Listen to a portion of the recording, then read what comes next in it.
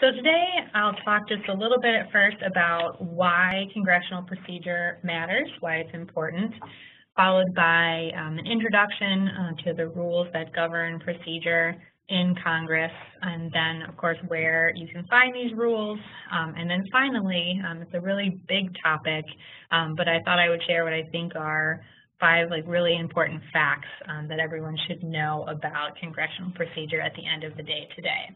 Um, so first, like, why do we care about this topic? Um, and by we, I mean the collective we, uh, not only we uh, foremost as librarians um, and researchers, um, but also as citizens. Um, I think this is an important topic to be aware of. So the main reason it's pretty important, um, especially for us as librarians in trying to help our patrons find congressional information, is that these rules guide the process for how laws are made. Um, so here is a really great graphic displaying the traditional path um, of a bill as it works its way from introduction to becoming law. Um, and this path, like I said, is guided by these rules of procedure that we're talking about today. Um, and the most important thing to know is that, well, this is considered to be the traditional path of a bill um, as it makes its way through Congress. Um, there are a lot of deviations to this path that are allowed um, and driven by the rules. Um, so it's important to be aware of this, again, in terms of um, helping our patrons find information, particularly when, you know, the history of a given bill um, deviates from what we tend to think of as how a bill usually proceeds through Congress. Um, so that's a big reason why it's important. But um, you don't have to take my word for it. Let's see what some of the uh, real experts on this topic have to say about the importance of congressional procedure. Um, so first we have John Dingell, who is a former U.S. representative and the longest serving member of Congress. And he has a really famous quote where he says, I'll let you write the substance of a law and you let me write the procedure and I'll screw you every time. Um, and basically what he's saying here is pointing out that control and mastery of congressional procedures can really have a big impact on lawmaking. Um, as we'll talk a little bit about today, they can affect um, you know, the substance of a law as well as a law, whether a law gets passed at all. From a research perspective, this topic is also really important um, because as highlighted here by Victoria Nourse, who's a uh, law professor at the Georgetown University Law Center, as well as a former congressional staffer. Um, she points out that there are significant dangers to roaming around legislative history with no appreciation for congressional procedure. Um, and basically, Professor Nourse uh, researches and writes a lot about the importance of lawyers and judges um, really understanding well how Congress works and understanding congressional procedure, um, because if they don't, um, it can lead to misinterpretations of legislative history. Um, so, right, judges often look to the legislative history of a particular law to interpret the meaning of those laws. Um, and the outcome of a case can really turn on on their interpretation. Um, so it's important for lawyers and judges, um, law students, um, and again, I think just citizens to understand um, how procedure can impact legislative history um, so that we can interpret it correctly. All right, um, so that's why I think this is an important topic. Now just a little more uh, introduction to the rules. so here today, I'm talking about the rules of procedure for Congress. So these are the internal rules that Congress adopts for itself um, that guides how it proceeds in its lawmaking and other activities. Um, I'm primarily talking about what are known as the standing rules of the House and Senate, um, but there are other sources of rules of procedure that I'll get into as well. So first, where does the authority to create these rules come from, right? So where does Congress get the authority to establish its rules of procedure? Um, well, it comes from the U.S. Constitution. Um, Article 1, Section 5, Clause 2 is known as the Rules of Proceedings Clause. Um, and it basically says that each House may determine the rules of, of its proceedings. And this has been interpreted pretty broadly. Um, so Congress has a lot of authority to set its own rules and interpret its own rules. So in terms of how these rules go about then getting adopted um, is the House and Senate each have their own sets of standing rules. Um, they used to have shared rules, but now they each have their own and how they adopt them is a little bit different. Um, so first in the House of Representatives, um, the House adopts new rules for each Congress. Um, each Congress is two years, um, and it expires at the end of that Congress. They're actually drafted by the majority party in advance, um, and then adopted as a House resolution at the beginning of the new Congress. Um, so each Congress has basically its own new set of rules.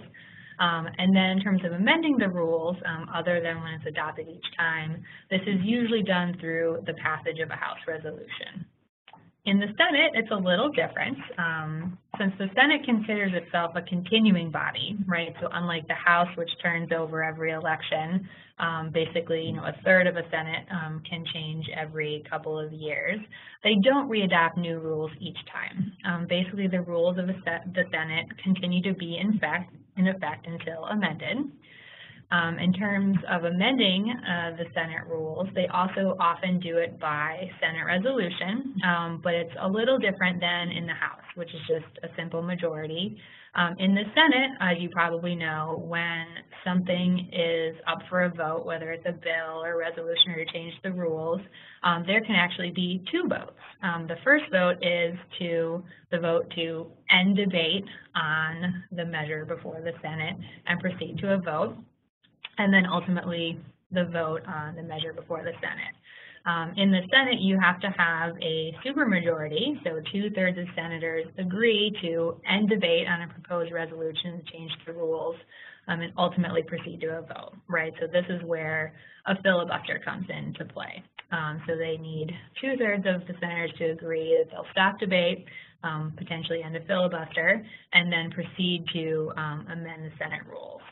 Um, okay, so that is how the Senate goes about um, usually changing their rules, although I'll talk about a really interesting um, way that they basically um, get around some of their stringent amendment procedures at the end. So that's how they're adopted in the House and Senate. Um, and as I said, they each have their own rules, um, and they are quite different. Uh, the differences between the House and Senate rules um, are driven in large part by the differences between these two bodies, right? So um, they are very different in size, right? We have the House with over 400 members and the Senate with only about 100. Um, so in the House, there it's much bigger, right? There's a lot more people to kind of keep in line, um, and membership changes every two years. Um, and this is very different from the Senate, where it's much smaller, um, right? You have staggered six-year terms of the senators, and so a little bit more continuity. Um, so in the House, there are uh, more rules which can be changed more frequently. Um, it's very structured um, with more strict adherence to their rules, um, and a guiding principle in how the House operates is simply, right, majority rules, um, and this is reflected in their rules themselves. Right, in the Senate, again, it's smaller, um, so they've got fewer rules that aren't changed as often, um, a little less strict adherence to the rules, um, and the rules are often guided by um, a real respect for the minority party um, in the Senate. Um, it's not that the Senate doesn't follow their rules or they ignore their rules, although they can. it's more that there aren't as many rules and they don't amend them very often. Um, right, so a lot of situations arise where, right, they just, there's no rule on point and they have to uh, figure out what to do. Okay, so what do these rules cover, these various rules of procedure? And we'll look at some examples in a moment. Um, they cover a lot. Uh, they cover uh, how bills are debated, they cover voting, they cover how amendments can be made, um, so a lot of these really substantive components of lawmaking. Um, but they also co co cover things like um, committee appointments and staff, um, various financial issues like disclosure and acceptance of gifts, um, there's also quite a bit in there on decorum, which I think is some of the more um, kind of interesting pieces. So decorum and things like smoking. Um, and also, right, of interest to this group, um, rules dealing with documentation and record keeping, which I, of course, also think are very interesting as well. Um, so here's a couple examples uh, from a the Senate rule on debate, and I'll show you the kind of the equivalents in the House as well. Um, so in the Senate rule on debate, and these are the Senate standing rules. Um, so for example, like I said, there's a lot of things on decorum. So it says, when a senator desires to speak, he shall rise and address the presiding officer and shall not proceed until he is recognized. Um, and the presiding officer shall recognize the senator who shall first address him, right? So kind of very formal um, how you go about proceeding to speak and debate on the floor of the Senate. Also, no senator in debate shall, directly or indirectly, by any form of words, impute to another senator or to other senators any conduct or motive unworthy or unbecoming of a senator, um, right? So no trashing each other in the Senate. Um, and then you also can't uh, refer offensively to uh, another member's uh. Um, so it's kind of interesting. Um, on the House side, kind of very similar rules setting up debate and decorum. Um, a member of the House who desires to speak or deliver a matter to the House shall rise and respectfully address the Speaker, and on being recognized may address the House from any place on the floor. Also, when a member is speaking, the rules say that you cannot pass between the person talking and the chair. So another example of decorum on the House floor.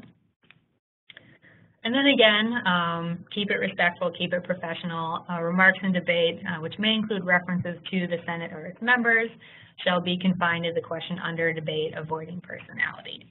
Um, so this is just one example um, of the rules. Um, again, you know, just dealing with how we'll debate bills and also things like decorum and procedure. Um, so finally here in this section, um, who are the key players when we're talking about um, the rules of procedure in the House and Senate um, and how they set up their rules and follow their rules. Um, so a few of the key, players who I've mentioned so far are first the chairs. Um, so in the Senate, this is generally the this is the presiding officer, um, which is usually uh, the president pro tempore, um, which is the um, you know most senior member of the majority party, or very often his or her designee um, so a junior senator who gets appointed to be the chair. Um, and then the House, is, of course, the Speaker of the House. Um, the chair plays a very important role um, because if an issue arises um, in the House or Senate on a question of whether something does or does not comply with the rules, they make the initial determination of whether or not it does. So they rule whether something is in order in compliance with the rules or out of order and not complying with the rules. Um, their decision can be appealed to the entire chamber, which then can vote on whether or not something violates the rules, um, but they do make the initial determination. Also, both the House and Senate have rules on committees. In the Senate, it is the Senate Committee on Rules Administration, and in the House, it is the House Committee on Rules. Um, the House Committee plays a more central role uh, than the Senate Committee, which I'll um, talk about a little bit more at the end. Um, and then finally, both the Senate have parliamentarians. Um, so these are individuals who are experts in congressional procedure, um, and they help the chairs decide on issues of procedure in the House and Senate when an issue arises. Um, the parliamentarians' recommendations and decisions aren't binding, but because they are the experts, they are often followed, um, and they can have a really significant impact on legislation. Um, for example, um, during the passage of the Affordable Care Act, at one point, um, whether or not the act was going to proceed to passage really did turn on the ruling of the Senate parliamentarian at the time. Um, so these are really important individuals as well. Okay, um, so now in terms of where to find the rules, um, so where can you find the standing rules as well as some of the other rules and laws that guide procedure in the House? That's what I'll go through next. There will also be a handout that will be sent to you afterwards and posted on the webinar's website that has um, where you can find all these rules that I'm talking about, um, as well as a list of other really great sources that provide background information um, as well as some additional explanation of congressional procedure. Um, so the main sources of the rules and procedure in Congress, um, so far, like I said, I've been primarily talking about the standing rules that the House and Senate adopt for themselves. Um, but there's also the U.S. Constitution, right? So we saw that the U.S. Constitution has a clause which enabled Congress to establish its own rules of procedure, um, and there's some other provisions as well, um, such as those dealing with quorum. Um, the main rules that you think about are the standing rules, which we've been talking about. In addition to the standing rules, um, the House and Senate also have some other rules that guide their actions. Um, in the Senate, the Senate also adopts what's called standing orders. Um, standing orders are very similar to rules. Um, they basically have the same effect as a rule. They're adopted by resolution and generally in effect until they're amended or repealed. Um, but there is basically a difference in how standing orders get adopted. They're easier to adopt than a rule, so sometimes a, a standing order will be adopted rather than trying to make a rules change in the Senate, which can be hard. In the House, they also have what's called Jefferson's Manual, which guides their proceedings. Jefferson's Manual was actually created by Thomas Jefferson when he was vice president and, and then president of the Senate. Um, it was originally meant to guide Senate procedure, but interestingly today it's not followed in the Senate. Um, but it is used in the House, um, and it applies to the extent that it's applicable and not inconsistent with the standing rules of the House. Next, in addition to those sources of rules, there is also precedent.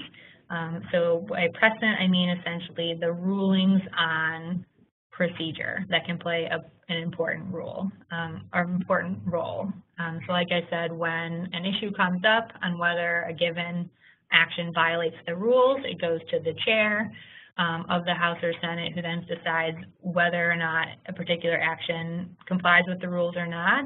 Um, and those decisions do create precedent, which then guides later decisions on procedure in the House and Senate. And precedent can be very important. Um, and then finally, there are some statutes as well as other resolutions um, which impact congressional procedure. The main area that this comes into play is often for um, passage of the budget as well as appropriations legislation.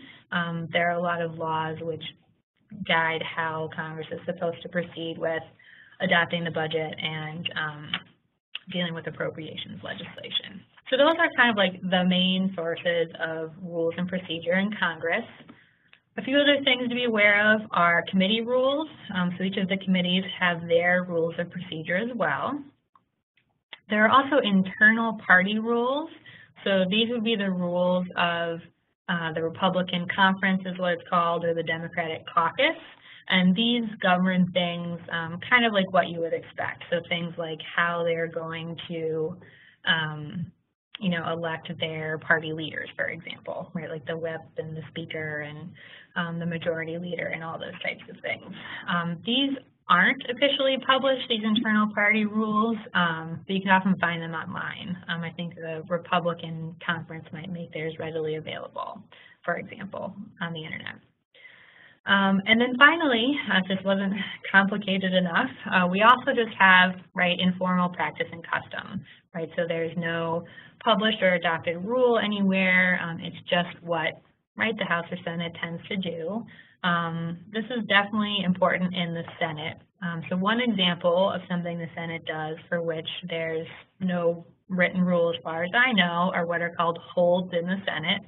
Um, holds are kind of controversial. Um, basically, a senator can um, send a letter or a note to the majority or minority party leader of their party, um, staying with staying what their preferences are for you know policy that gets put forward in a given session of Congress, as well as their preferences for when legislation comes up um, it's just a request, um, but these holds are often honored because otherwise, if they're ignored, um, a senator may choose to filibuster, right? And that would ultimately be a waste of the Senate's time.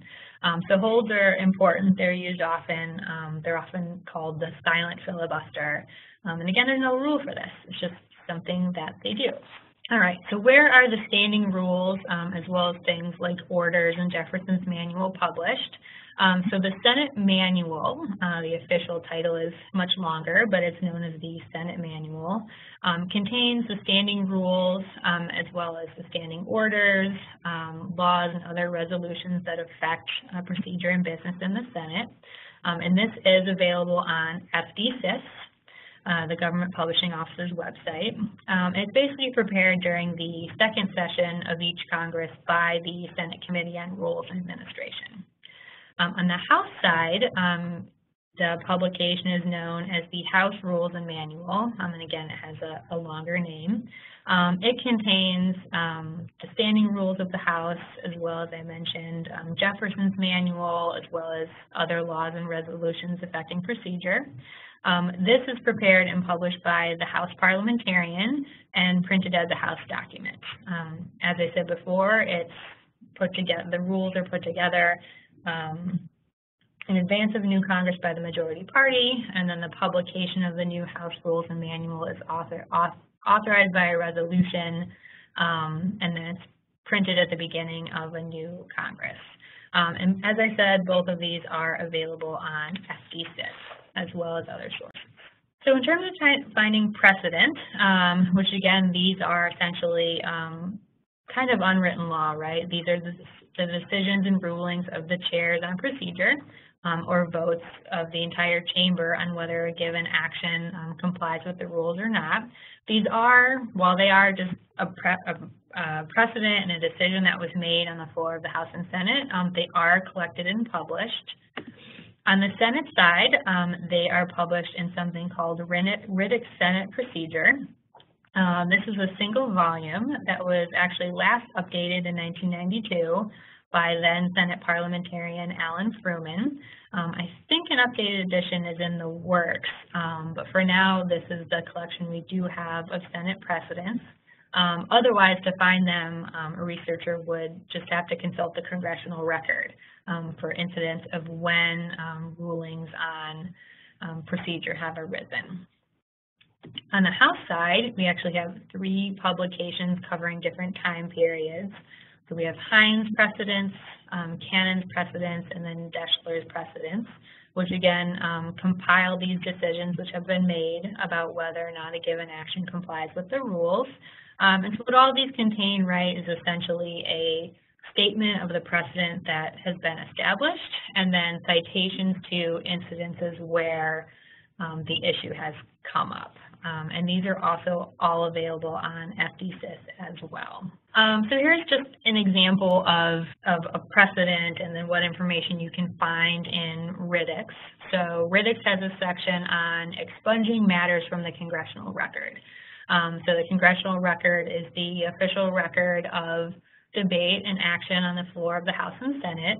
Um, it's not a verbatim transcript of what goes on, but it is um, the record that we have of debate. Um, and so basically, there are precedents dealing with when a um, senator can have something removed from the record, right? So the precedent that appears in Riddick's is saying that when matters have been placed in the record by unanimous consent under the precedents, um, they may be stricken out by a majority vote on motion as well as a unanimous consent. Um, so unanimous consent, just as a little background, um, the Senate does a lot by unanimous consent. It's basically they say we want to take a particular action um, by unanimous consent, uh, which doesn't mean everyone has to agree to it. It just basically means as long as no one objects, we're going to proceed with a particular action. Um, so right, the precedent is saying if something has been placed in the record, um, it's fairly simple to have it removed. You either need a majority vote to take it out, or again, you can have it taken out by using this unanimous consent procedure as well. Um, so that is the precedent, um, and then Riddick's will list all the instances um, where things have been then expunged from the congressional record under this precedent. Um, a lot of them, if you were to look this up in Riddick's, deal with um, remarks or documents referring to other senators. Um, again, remember in the rules, you are um, not supposed to speak ill of your fellow senators, um, but some of them are interesting. Um, like, for example, one senator accidentally referenced and put in the record some information from a confidential FBI report. So obviously, um, that matter needed to be expunged. Um, so those are the precedents. So they're pretty interesting, um, I think. Um, so those are the basic sources where you can find the rules. Um, you know, there are um, a lot of rules. This is all really complicated. Like I said, you've got all these different sources of rules. You've got unwritten rules. Um, there's various other reasons helping someone research congressional procedure and figuring out why Congress did something, how they did something, um, what the authority for that particular action was can be um, really confusing. Um, so in terms of just additional resources for finding these sources, understanding these sources, um, I have, like I said, prepared a handout um, which will be sent out with information on some of the really great texts that explain all of this. Um, I've relied heavily on these in understanding this all myself, as well as links to where you can find the publications I just talked about. Um, and then also for information on, you know, congressional research, you know, generally beyond just the rules, you know, finding information like um, committee reports, um, where you can find the congressional record and debates in Congress. Um, there are a lot of great resources out there for that, um, which I won't get into today. Um, there's, of course, this great webinar series, uh, like Linda mentioned. There'll be a session on congressional research in August. Um, so if you're interested in this, I would definitely check out that webinar. Um, right, there's lots of great research guides. I know many people here, their library has probably has a great research guide on legislative history or congressional information. Um, there's also a lot of great videos online today. Um, I know the Georgetown Law Library has a really great short video on researching legislative history. Um, and otherwise, the key online resources for finding congressional information um, are, of course, ProQuest Congressional, um, if you have access to that, um, as well as Hein Online. You know, those are both subscription resources. Um, but in the area of congressional information, um, a lot is available for free. Congress.gov is available for free, and that is where you can find information on, you know, the history of bills and legislation in Congress from the 70s, um, and then FDsys, as I have mentioned as well, is where you can find a lot of congressional documents and congressional procedural documents. So last but not least, now what I think is to the most fun part of today um, are what I call the five facts about congressional procedure you can't live without. Um, so this is really complex topic, um, really confusing, um, even for elected officials and their staff. Um, you know, I've been researching this for a while. I've attended like several multi-day workshops, um, and I still um, only feel like I've scratched the surface. like I said, there are House and Senate parliamentarians whose full-time job it is to understand this stuff. so it's just, uh, like I said, a really uh, fascinating uh, yet obscure and complex topic. Um, but I think there are five things um, that I've learned about that I think um, everyone should know. And so to make it fun, I've just created um, a BuzzFeed style listicle. Okay, so first up, the most important thing to know is that Schoolhouse Rock lied to us, um, by which I essentially mean um, legislation often does not follow that single linear path that I showed um, earlier in this presentation in which the little cartoon Bill sings about um, in the cartoon we've all seen um, and that students learn about in their civics and political science class. Um, there are a lot of potential variations um, and nuances, like I said, that are enabled in part by these rules of procedure. Um, so for example, um, just one example of how a deviation can occur. Um, the Senate rules allow bills to originate in committee, right? So we're, we're taught that a bill is introduced in the Senate, and then it's referred to a committee who holds hearings, et cetera, et cetera. Um, but bills can actually originate in a committee, right? So you may have a um, patron who's trying to research the history of a law, um, and find all the different versions of a bill, and they just can't find the version of the bill that was introduced. Um, well, that could be because, right, there was there is no version that was introduced. It, there is the first version of the bill is is the one in the committee, um, which you will see when the committee prepares their report on the bill to be sent to the full Senate. Um, and this is actually what happened, for example, with the Affordable Care Act. Um, it originated in committee. Number two, and this is, I think, one of the most important, is that the rules are not self-enforcing. So Congress adopts these rules for themselves, um, but they're not mandatory. Um, there's no one, um, no one is a job in either chamber to enforce the rules. Basically, um, they can follow them or they cannot follow them. Um, so if something happens near the House and Senate that violates the rules, it is up to a member of the House or Senate to raise what's called a point of order, right? So if someone does something that violates the rules of procedure, um, another member of the House or Senate may say, raise a point of order, arguing that that action doesn't comply with their rules of procedure. Um, at that point, right, the decision goes to the chair, who decides whether to abstain the point of sustain the point of order, agreeing that the action does violate the rules and can't proceed, um, or they can overrule it and say no, uh, this action does comply with the rules. Um, but if no point of order is is raised, there's no problem. Congress can just proceed with what they're doing, and the resulting actions that they take are no less legal or binding.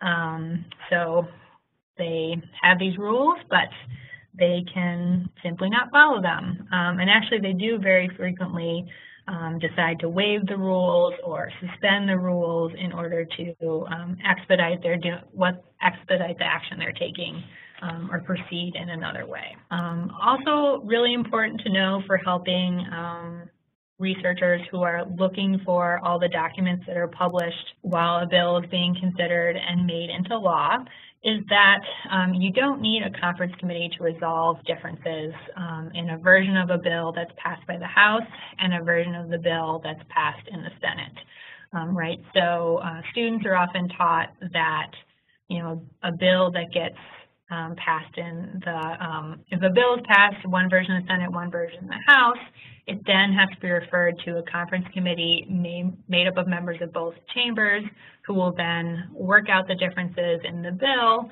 um, draft a final version, which then is voted on by both the House and Senate. And if they approve it, it goes on to the President to be signed um, and ultimately passed in the law. Um, these days, um, there may not be a conference committee called to settle differences between a version of a bill passed in the House and Senate. Conference committees are used less often in recent years um, in favor of alternative options. Um, one option is known as amendment exchange or ping-ponging. Um, so basically this is just trading amendments back and forth between the House and Senate um, until an agreement is reached. Um, and when this is taking place, um, it can be preceded by informal negotiations by the House and Senate, um, which of course there would be no official record. Um, and this is a the um, this is a trend that we're having fewer and fewer conference committees. Um, so most laws that are enacted, they are simply passed by one chamber um, and then passed by the other without amendment. Um, right, so if the House passes a bill first, it goes to the Senate. a lot of the time, the Senate will simply pass it without amendment um, for laws where there is what's called post-passage bargaining, um, when they each have a different version of, of a bill. Um, about a third are involved in this ping-ponging, for example, um, while only about 16% um, according to a recent study, go to conference. Um, so there are just fewer conference committees. so if you're helping a researcher um, you know, research a piece of legislation where the House and Senate pass different versions um, and they're confused about why there isn't a conference committee, um, this is why. There are basically other options for working out differences between the House and Senate. Fourth, and I alluded to this before, um, it's important to understand the power of the House Rules Committee. Um, so as I said, the, both the Senate and the House have committees on rules. Um, for a reason I'm about to explain, the House Committee um, is extremely powerful and plays a key role in whether or not uh, legislation can get put up for a vote in the House. Um, so basically, in the House, um, right, so a bill is introduced, um, it goes to a committee who has a hearing and decides to report the bill out to the full chamber for consideration. Um, that bill often can't just then proceed to the floor of the House for debate and then a, a vote. Um, there are a number of ways that legislation can get to the floor of the House and Senate for consideration, right? So different ways that they can get like a ticket to the floor to then be debated and voted upon.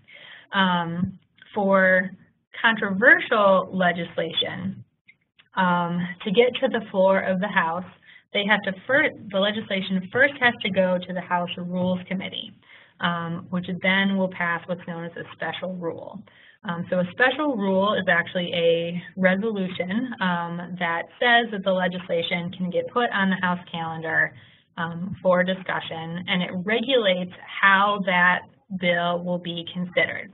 Um, so the special rule will establish things like um, how long the bill can be debated, um, whether any rules will be waived in the consideration of the bill, um, and most significantly, what amendments can be offered, right? So um, the rule from the Rules Committee will say what amendments people can propose to make to the bill, right? So they play this huge gatekeeping function um, for legislation to make it from the committee stage to the floor of the House for consideration. Now, this isn't all legislation. Um, there are lots of basically different ways the bills can make it to the floor, um, but for anything major or controversial, it's going to have to go through the House Rules Committee um, and basically get a rule that it can be debated upon. Um, and last but not least, uh, since it's been coming up in the news a lot uh, recently in the um, presidential election, I wanted to talk about what's commonly referred to as the nuclear option. Um, the nuclear option sounds very dramatic. Um, it is talked about in a very dramatic way, um, but the important thing to know about it is that it is essentially just a means to amend the Senate rules. Um, like I said, I want to talk about today because the um, I think a number of Republican presidential candidates this year, they've been asked whether they would employ or, or they would support the employment of the nuclear option in order to repeal the Affordable Care Act. Um, and so this is basically what we're talking about when we talk about the nuclear option. Um, right, so as we've talked about all today, um, the rules of procedure cover a lot of things related to debate and, and voting. Um, and in the Senate, under the Senate rules, you know, a senator can basically speak as long as they want during debate, um, essentially preventing a vote from preventing a vote from occurring by what we know as filibustering. Um, and under the Senate rules, um, to stop debate and stop the filibuster, you need 60 senators, or three-fifths of the Senate, to vote to do so. Um, so, and that is in the Senate rules. Um, now the Senate could amend their own rules um, to say that less than 60 senators are needed to stop a filibuster in a given instance. But like we talked about earlier today, actually amending the Senate rules is hard to do. Um, to stop debate on a resolution to amend the Senate rules and proceed to a vote, you need even more than 60. You need a two-thirds majority to do that, right? So it is um, hard to overcome a filibuster and pass legislation. Um, it's even harder to overcome a filibuster to amend the rules. Um, but again, remember that there are other sources that govern rules of procedure in the Senate and that the rules are not self-enforcing, right? So because of that, that the rules aren't self-enforcing, the Senate can essentially amend its rules by simply establishing a new precedent, right? So the precedent I talked about. Um, so basically what the nuclear option is, is amending the Senate's rules of procedure through the use of precedent, right? So basically, um, this has come up in recent years um, in terms of dealing with Senate, the Senate approval of um, the president's appointees to judicial posts as well as other executive branch posts. Um, a few years ago, none of, of, President Obama's appointees could get through the Senate because they were going to be filibustered um, or there was a threat of a filibuster. Um, so basically couldn't get any of his nominees approved and appointed by the Senate.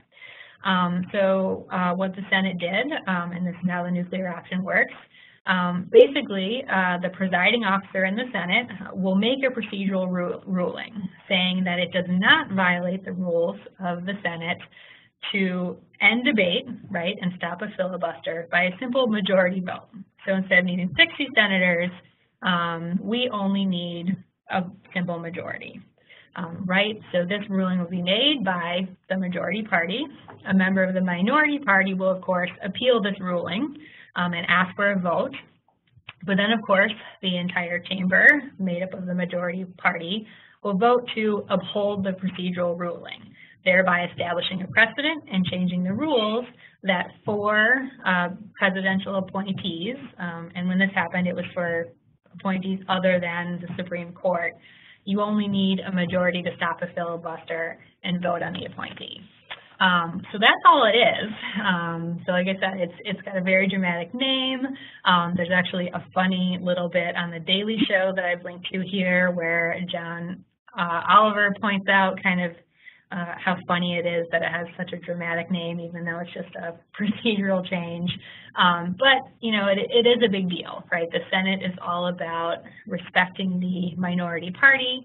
The Senate is all about collegiality, um, and so employing this nuclear option um, to right, overcome the wishes of the minority and the established filibuster procedure um, is kind of a big deal. So those are the five facts that I think are interesting and would be important to know about this topic.